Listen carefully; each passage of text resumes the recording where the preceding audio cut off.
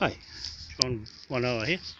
I'm just at the um, YMCA in um, Mount Albert and I'm just um, been to have a uh, session for eight weeks to get into condition and as you can see I'm way out of condition.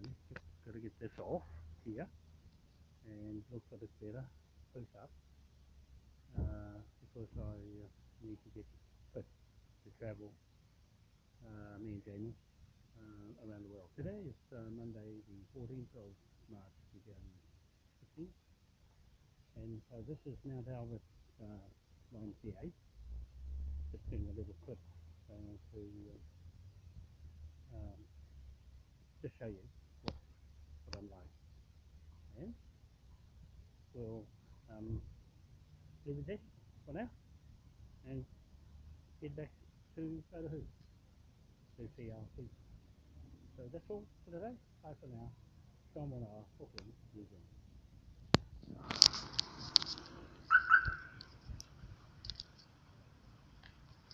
It off.